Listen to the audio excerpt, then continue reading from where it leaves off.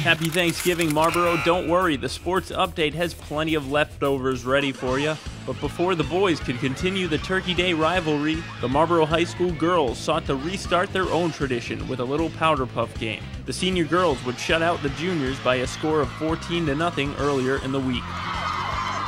Fast forward to a cold, frosty Thanksgiving morning. People were talking all week, asking the question Did a strong 8 2 Hudson team have what it takes to end the Panthers' Turkey Day winning ways?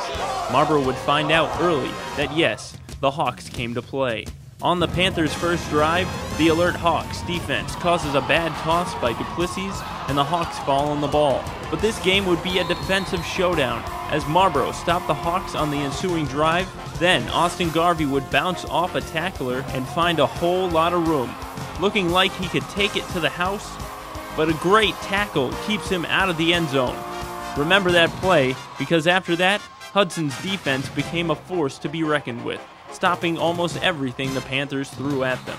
And in the second, the Hawks, led by quarterback Jake Wardwell and running back Carl Seary, mounted an 11 play, 69 yard drive that ended with a Seary touchdown. The extra point would be no good, and it was 6 to nothing Hudson in the second. And yet again, threatening were the Hawks, but Garvey, who was hungry for more than just turkey on this day, picked one off, and he was running for daylight until yet another saving tackle stops him from scoring, leaving the Panthers' offense to yet again come up empty. Each team would trade defensive stops for the rest of the game, and with under four minutes to play, quarterback Dennis Duplessis knows he needs a big play to keep things alive. But Hudson senior Brian Gracia spins inside on his coverage and sees the ball the whole way, making a great interception and capping a tremendous defensive effort by Hudson. Hudson wins 6 to nothing.